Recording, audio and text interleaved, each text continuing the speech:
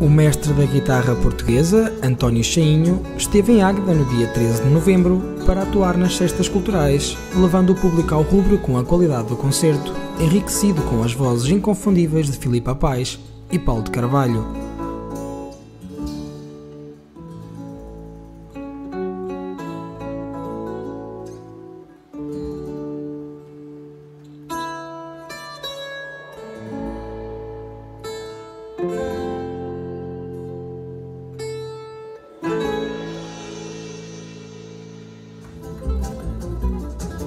Segundo o vereador Edson Santos, hoje cantaram-se aqui as notas de Portugal com dois mestres da música portuguesa, António Cheinho e Paulo de Carvalho.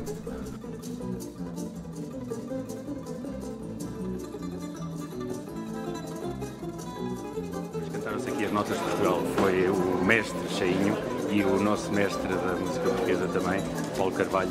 Foi um espetáculo memorável, acho que quem veio saiu satisfeito. E é isto que nós queremos também, que as pessoas que venham e que saiam daqui satisfeitos levem a palavra para que cada vez mais tenhamos públicos nas cestas culturais. A cultura é isto, hoje fez cultura, hoje cantou-se Portugal, estou muito satisfeito e bem-ajam por terem aceito o nosso convite, ao Paulo Carvalho, ao Mestre Cheinho e a todos aqueles que vieram e participaram hoje nesta belíssima festa que foi as cestas culturais. Teus seios tão masculinos, que me traz à porta,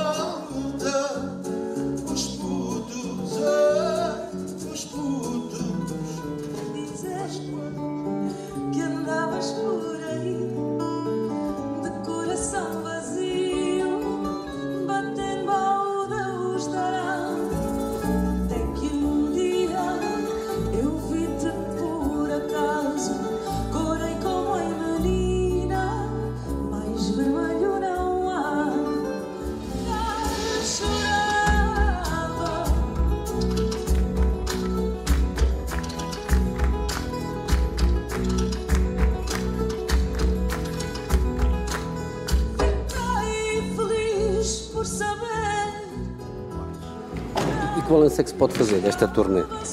Ah, é claro, tem sido bastante gratificante, na medida em que, eh, como, como disse, tenho os vários convidados e a reação uh, deles é, é, é, o público conhece beijamente esses artistas e normalmente são muito acarinhados, como aconteceu hoje, como vocês verificaram aqui, sobretudo em relação a este grande cantor que é o Paulo de Carvalho.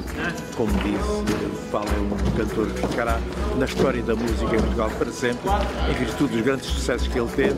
E não só, até porque foi a senha uh, 25 de Abril, foi uma canção uh, gravada por ele.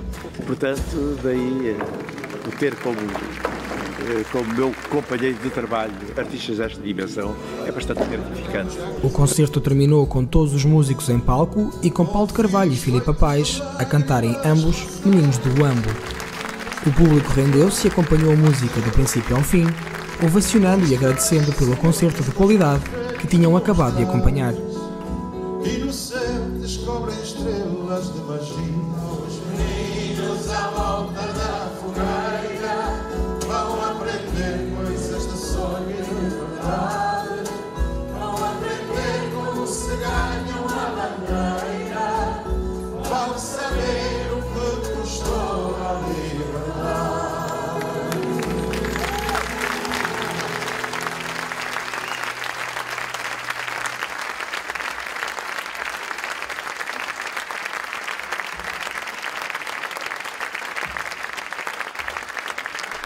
As cestas culturais voltam em dezembro, no dia 11, com a peça de teatro As Mentiras que os Homens Contam.